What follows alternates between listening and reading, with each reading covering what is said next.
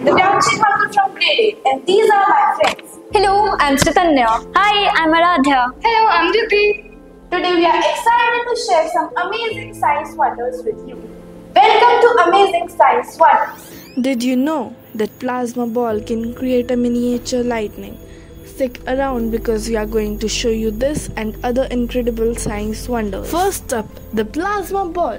When you touch it, the electric current inside it follows your hand, creating a lightning effect. This is because your body conducts electricity. Next, let's talk about the oobleck. It's a non-Newtonian fluid. When you apply pressure, it feels solid, but when you let it rest, it flows like a liquid. It is made up of cornstarch and water. This is the Newton's cradle, a device that demonstrates conservation of momentum and energy.